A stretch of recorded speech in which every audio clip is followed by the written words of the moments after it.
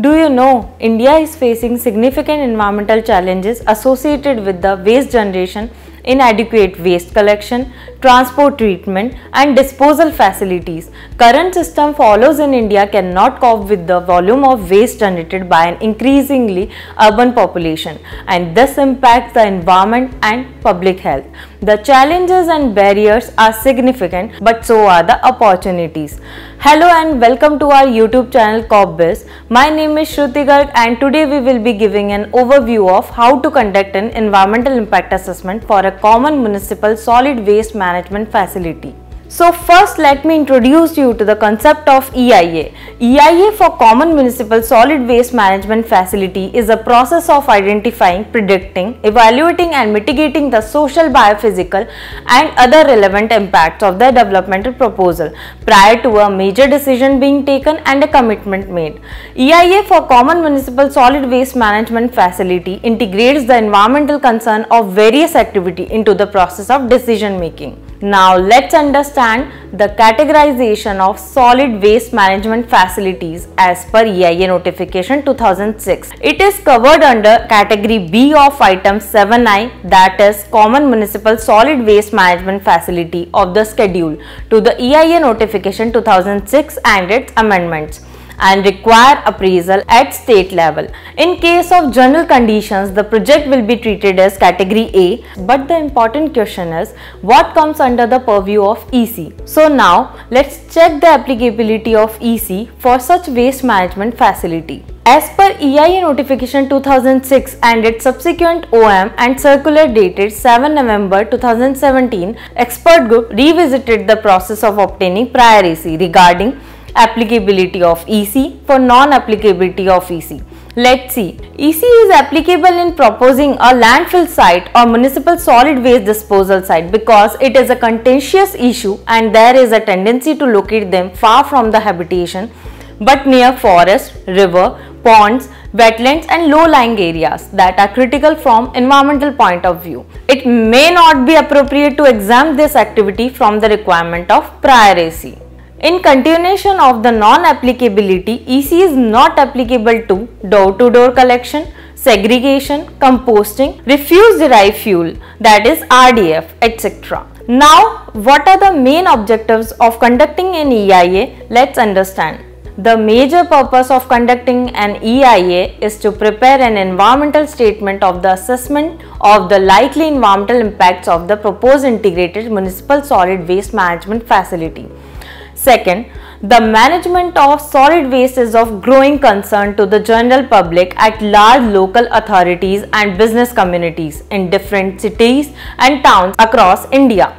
In order to comply with the MSW rules 2016, proper collection, segregation, recycling and disposal are much needed. Third is conducting an EIA for common municipal solid waste management facility to develop mitigation measures so as to minimize the pollution, environmental disturbance and nuisance during the operation period of the proposed project. Now, what should we do in case of the applicability of EC on the project?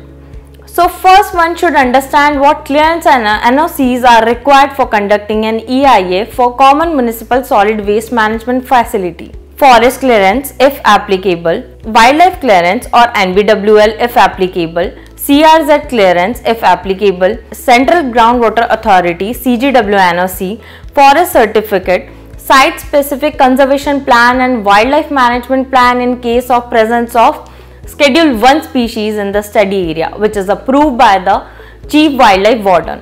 Now, coming to the applicable laws and legislations for conducting an EIA includes as Municipal Solid Waste Rules 2016, Plastic Waste Management Rules 2016 which is amended in 2022, the Hazardous Waste Rules 1989, Hazardous Waste Management Handling and Transboundary Movements Rules 2008, Environmental Protection Act 1986, EIA Notification 2006, Air Act 1981, Water Act 1974, Forest Conservation Act 1988 and the last one Wildlife Conservation Act 1972. Now, to carry out an EIA, one must understand the stages involved in an EIA process So the first stage is screening.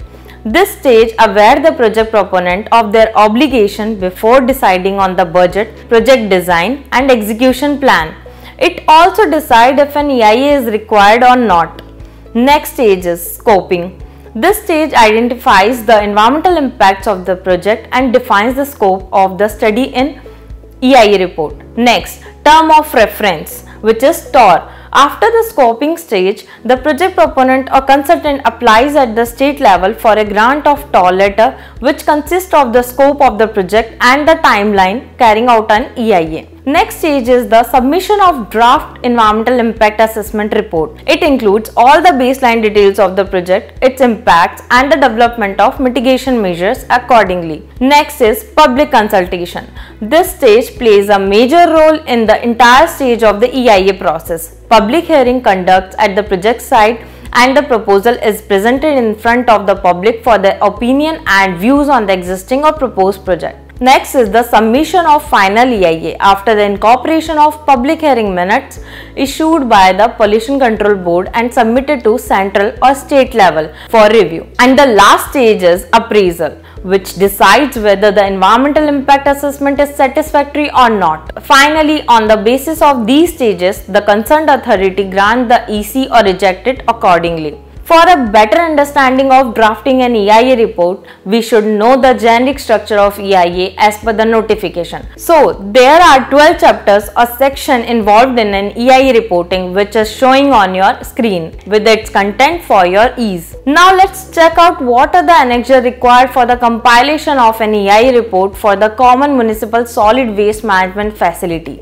These includes first, TOR letter, site layout and landfill design plan, land documents with Khasra map, baseline monitoring data, public hearing proceedings, detailed project report and lastly the DCF certificate. But how many associate team of experts are involved in the compilation of an EIA report?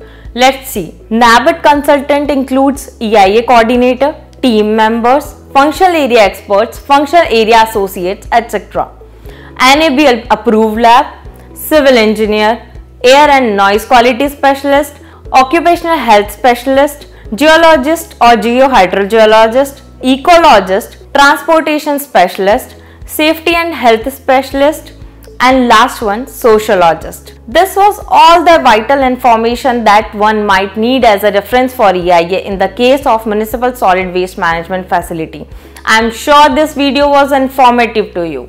So, if you are looking for the assistance of certified environmental consultant that can help you to prepare a quality EIA report and to obtain environmental clearance, you can connect with our expert at Corpbiz with the details below.